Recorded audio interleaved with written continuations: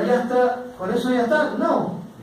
Después viene, no sé si han visto un sello que se llama Buró Veritas. ¿Lo han visto que dice Buró Veritas, una buena empresa que hizo sobre mí? Hay distintas empresas a nivel mundial que sirven de auditores para la ISO 9000. No son muchas, son unas 4 o 5 empresas. Que son auditores de la ISO 9000.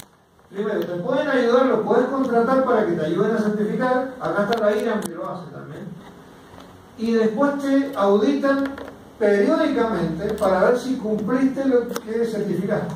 Claro, o sea, una vez que tal certificaste. No puede ser, ahora hago lo que quiero. No. Ahora tengo el certificado y te van a venir periódicamente a ver si cumplís lo que escribiste vos con tus mismas manos. ¿Está? Y el que te viene a auditar sigue siendo un especialista. O sea, si el tipo vino a la bodega, sacó el vino con ISO 9000, viene el sellito, el etiqueta. Y después que viene a auditar, viene un tipo tan capo como el que le ayudó a certificar. Y le van verificando si lo cumple. Y dice, che, mirá, acá ibas a controlar el corcho con rayo X. Resulta que tenía un negro allá que mira con el sol, así lo mira contra el sol. ¿Por qué pusiste que lo ibas a hacer con rayos X si tenés un tipo mirándolo contra la ventana? ¿Me entienden? El problema es eso, o sea, después no cumplir lo mismo que escribiste. Entonces eh, empiezan a controlar. Y el tipo el que viene sabe cuáles son las falencias, porque ha auditado y controlado un montón de empresas, ya está en el tema. Entonces te viene, por más que lo agarré y lo llevé a don Mario a comer y lo corregí, cuando el tipo sale va derecho a donde sabe que vos te la puedes echar. Si sale en la bodega, ese tipo acá, el problema lo va a tener acá y se va a ir a buscarte donde te duele. Y lo porque sabe cuáles son las partes delicadas a las cuales puede fallar.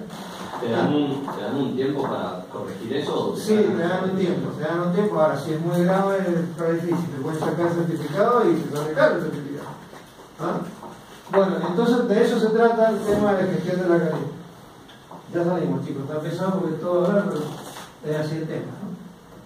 Eh, bueno, las normas ISO 9000-2000 salieron en 1994. Eran todas esas normas, las 9000, las 9001, las 9002, las 9003, las 9004. En el año 2000 hubo un cambio radical en las normas. tengan en cuenta que la primera que salió fue en 1994, tenía un montón de errores y los vieron cuando lo quisieron aplicar. Entonces en el 2000 pasó esto. Pasaron de tener la, la 9002 y la 9003 la volaron. Dijeron, había mucho papelerío, mucho, mucho que llenar, digamos, y lo sacaron porque no hacía, no tenía eh, Y se quedaron con la 9000 que daba los fundamentos y el vocabulario, la 9001 que es el corazón de la norma, donde están todos los requisitos y todo lo que hay que cumplir para poder certificar y para poder que, cuando te auditen, que, cuándo te van a auditar, cómo va a ser. Eh, la 9004 que son las recomendaciones para la mejora del desempeño, o sea, cómo hace vos para mejorar continuamente, y la de 19011 que tenía que ver con el medio ambiente y gestión de calidad. Entonces, esta, esta norma, la 9000 hace unos cambios grandísimos. ¿Cuáles son los cambios? Primero, verificar la satisfacción del cliente. Había que, antes no estaba. En la primera que se agregaron, el cliente era importante, pero lo nombraban. Ahora dicen no, hay que traer la información desde el cliente hacia uno para ver en qué estoy fallando y eso tomarlo como un incentivo de mejora para seguir eh, produciendo con mejor calidad y satisfacer cada vez más al cliente. Ahora, para hacer eso, tengo que traer la información del cliente. Y esas son las famosas llamaditas que nos hacen, hay un montón de métodos, hay que averiguar qué pasa con el producto menos cliente. Entonces hay un montón, creo que, la Coca-Cola, que se, que se juntan, hacen esas reuniones con las mujeres que van y las invitan a un té y están ahí y le traen masita, que si yo, y le terminan hablando de, que si te gustan los tuppers o si te gustan, o no, las partidas que hacen esas reuniones, ¿no? Bueno, o te llaman por teléfono, el tema de llamar y te hacen el verso y terminan preguntándote si te gusta tal vino, si te gusta tal otra cosa, y el fin era conseguir datos del cliente, lo hacen al tuk-tuk, pero hay varias formas, telefónicas, usando gente, a través de premios, incentivos, que te van a ganar no sé qué, tanto, tanto, te saca información de, de cómo el producto está en el mercado. ¿Por qué? Porque lo necesitan para la ISO 9000 para seguir mejorando. Es un dato que le obliga a buscarlo. Entonces, en el 2000 larga eso, la ISO 9000 incluye la satisfacción del cliente y recabar datos del cliente de cómo anda mi producto, servicio, lo que tengo que decir. Bueno, otra cosa más que imponen es, en ese momento, es el compromiso de la gerencia, de la dirección. Veían que no, si bien lo habían nombrado, no estaba específicamente dicho, trabajen muchachos. ¿Qué hacían? Que salía la norma, la, la, la norma y decía, y vamos a nombrar a Pepito, se va a hacer cargo de toda la gestión de la calidad y yo chamo, no le hago más nada. Eso es lo que pasaba. Entonces dijeron, no, ¿cómo? Entonces, eh, si Pepito era el que llevaba todo y yo era el gerente. Bueno, acá no, dijeron, este, lo tenían que, este, ahora, ahora se tenían que involucrar en el sistema y hacer sus informes particulares. Bueno, ¿qué más vino de en esta norma? Lo que digo, la achicaron, menos papeleo, más fácil certificarla. Eh, metieron el tema de la gestión ambiental, del medio ambiente, de que no contaminara. Y lo otro es trabajar en procesos, o sea, dividir todo mi sistema desde, desde llegar a la materia prima hasta que el producto salía al cliente, incluido el cliente, el proceso, el tanco, digamos, no es tanco, bueno, el proceso, de uno al otro, uno al otro y cómo se interconectaba todo el sistema. Y un sistema de mejora continua, que era el círculo de control que hablábamos recién, ese, ¿no? de planear, hacer, verificar, actuar, ¿está? hacer que ese círculo siempre dé vuelta con la mejora continua. Entonces, eso es lo que hacen en la 2000. El gran cambio que hay en el 2000 Después lo que le han agregado son parchecitos chicos, pero ese fue el cambio grande. Eh, la 9004 quedó como un sistema de gestión de la calidad y directrices para el mejor desempeño. Bueno, acá está lo que le acabo de decir recién. Organización enfocada al cliente. Las organizaciones dependen de su cliente, por lo tanto deberían comprender las necesidades actuales y futuras de los mismos, satisfacer sus requisitos y esforzarse en exceder sus expectativas. El otro día escuchaba a un tipo que tiene muchísimas empresas a nivel mundial.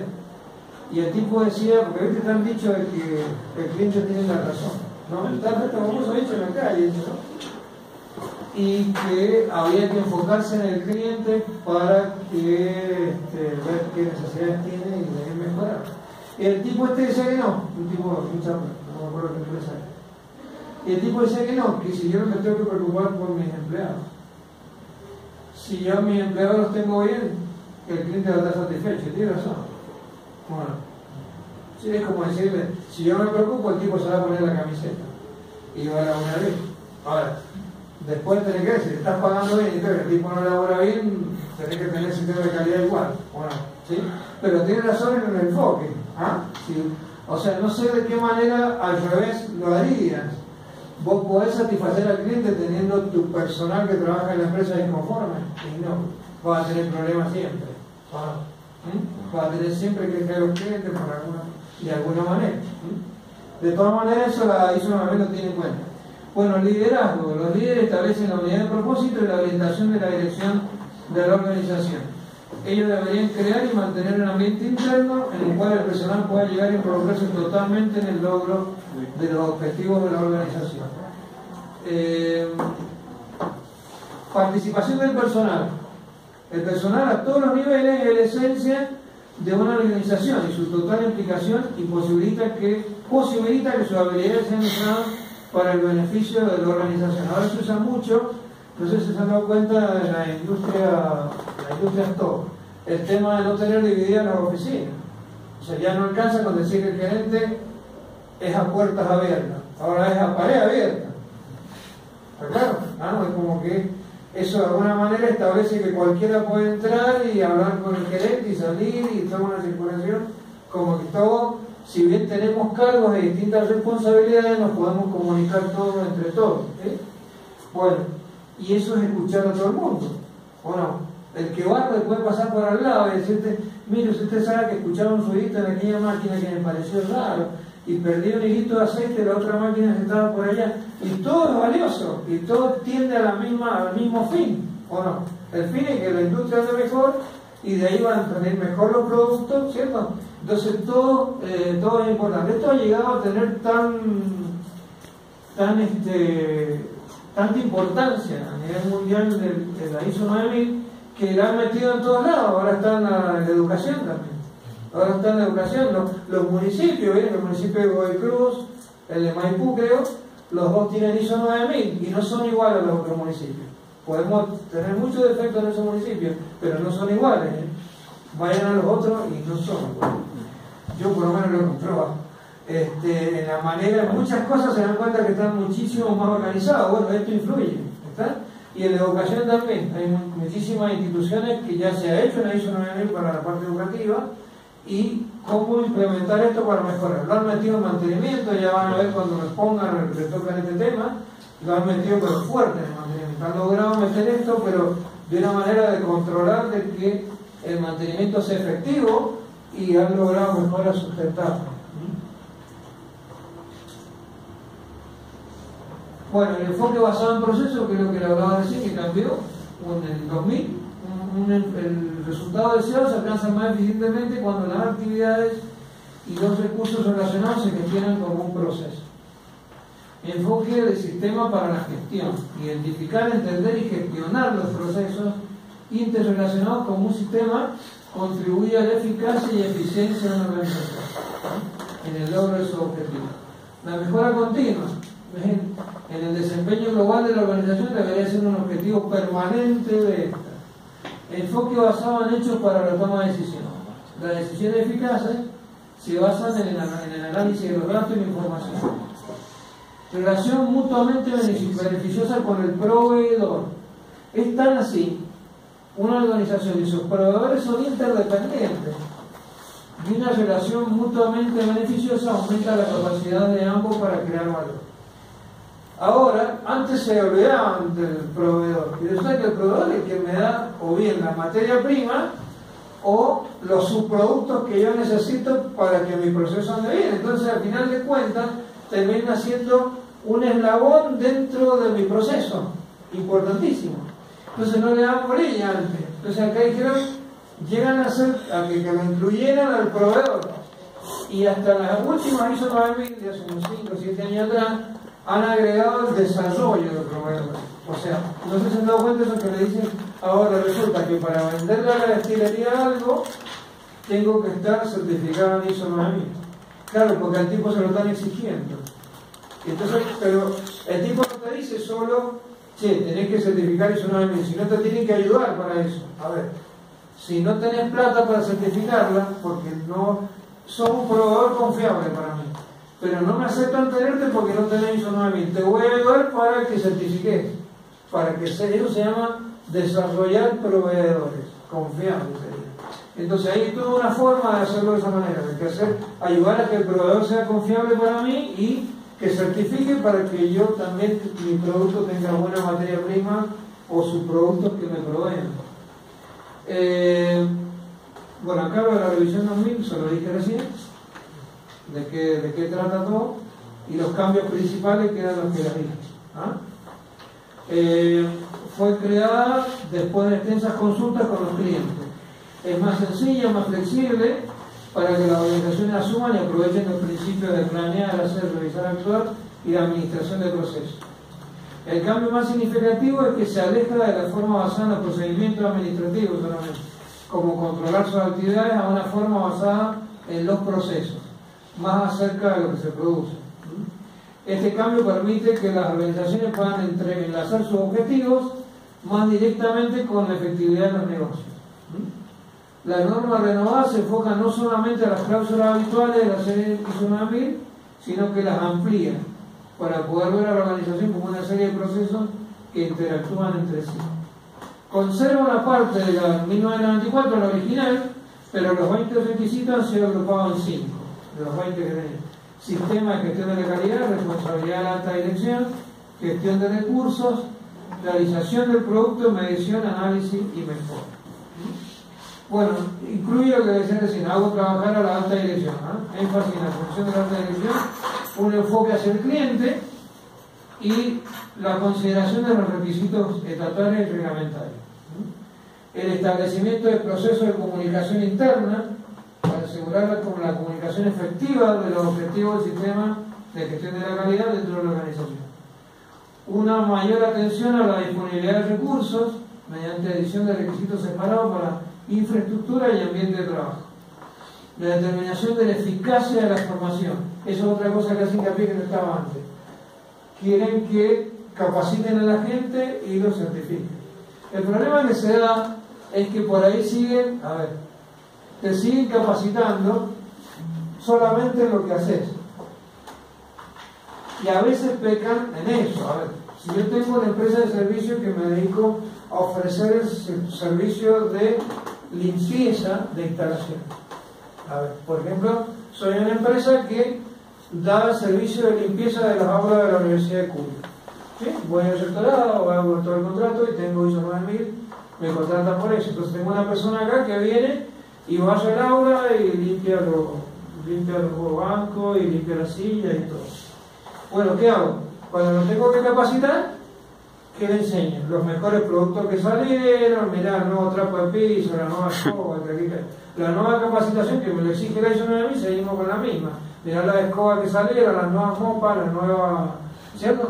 Y vamos con ello, y capaz que la persona es analfabeta, o no terminó la escuela primaria. ¿Cierto? Y cuando le toca hablar con la gente no sabe ni siquiera hablar. Bueno, entonces hay que ver, porque también te vas a habituar en lo otro, ¿no? De ver si vos lo estás capacitando en otras cosas, la manera en que lo capacitaste, si le, ayudaste a que terminara la escuela y tenga una mejor forma de comunicación, después te vas a ayudar en otras cosas, sí o sí, porque lo vas a meter en otra parte, en otro departamento. Capaz que la puedes poner en vez de que limpie el aula, que vaya y le limpie al rector. ¿Está claro? Porque ahí se va a comunicar se va a dar cuenta que es otro tipo de persona. Bueno, y eso es lo que pasa, que por ahí, o con el fin de cumplir nada más no es la finalidad que en definitiva es plata bien gastada. No sé si me entienden esto. Y no estoy hablando, seguimos con, saquen la utopía de ser solamente servicial por ser servicial. Pensemos en el objetivo de la empresa, tenemos que ganar plata con el servicio de limpieza de la universidad. El objetivo sigue siendo el mismo. Le va a redituar en ese sentido, aunque en un principio no se dé cuenta. ¿Ah? Bien. Eh, la determinación de la eficacia de la formación, el seguimiento de la información sobre satisfacción al cliente, lo que le digo, encuesta, llamada de teléfono, reuniones, etcétera, etcétera, etcétera cada vez que los llamen y me para así, es para eso. Uno los hace, uno, un análisis, el análisis de los datos recolectados para demostrar la conveniencia y eficacia del sistema de garantía de la calidad. La mejora continua de la eficacia del sistema de garantía de la calidad. Bueno, los beneficios que, trae, ¿qué es lo que es?